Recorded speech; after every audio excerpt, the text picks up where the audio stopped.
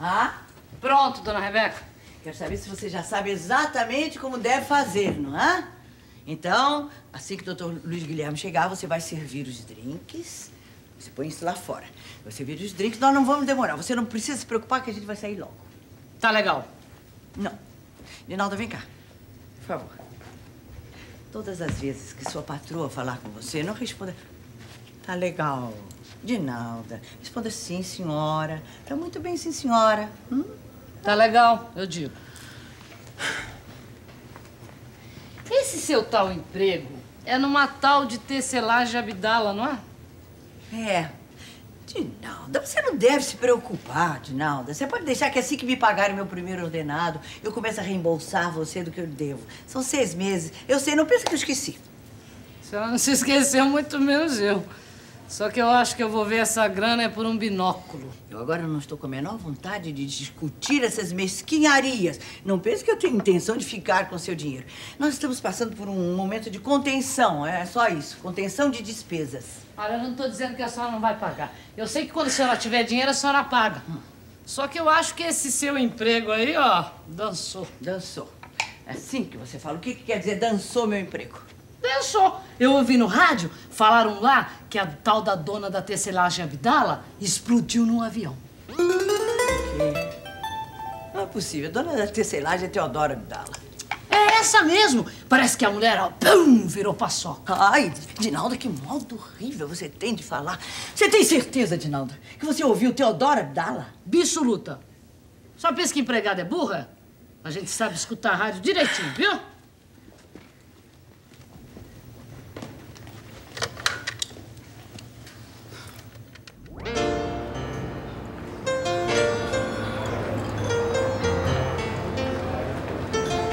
Penélope, que bom que você tirou da sua cabeça essa ideia de ir embora. Eu ia odiar ver você pedindo pinico pro seu marido. Para com isso, Leonora. Não toca mais nesse assunto, pelo amor de Deus. Eu não, eu não sei se você entendeu direito. Eu adoro você, Leonora. Adoro a Rebeca. Gosto demais de vocês duas. Mas só que não tô conseguindo encarar tudo isso assim com naturalidade. Você entende? Claro que eu entendi. Eu entendi tudo, entendi. É tudo muito novo esse bar, por exemplo. Eu já tinha ouvido falar que existia desse tipo de bar. Assim, só pra gente solta, gente avulsa, solta no mundo, mas eu nunca tinha entrado num bar desses. Eu, tô me esforçando, viu? Fazendo o possível, mas eu não tô me sentindo muito à vontade. Você compreende, né? É, é, imagina, você já pensou se, se, o Beto fica sabendo que a mãe dele tá frequentando um singles bar?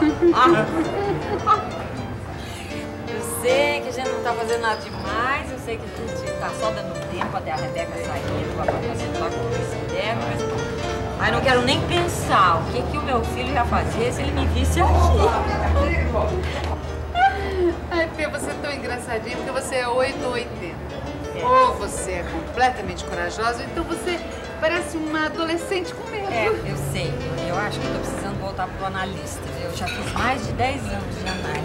Eu dei alta pro analista pirou. Acho que eu preciso procurar um outro, que eu tô me sentindo cada vez mais esquisita. Boa noite. Oi, Leonora. Hum. Como é que vai? Tudo bem? É... Você falou meu nome, eu, eu não lhe conheço. Como não? Não conheço. Como é que é? Você tá me estranhando? A grande Leonora Lamar?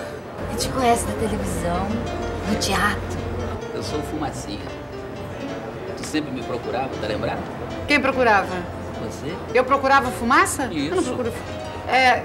Eu... O senhor tá me confundindo com outra pessoa. É.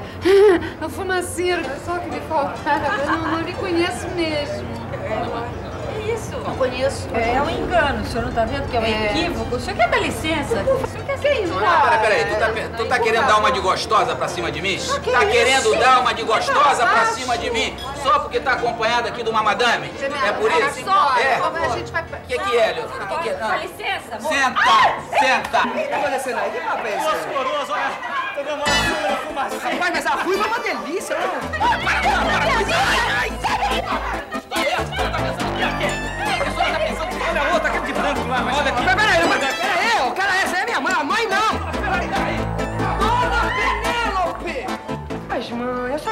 decepciona a cada dia. Tá se metendo com um tipo como fumacinha? Mas, mas é o fim da picada! Oi, Beto!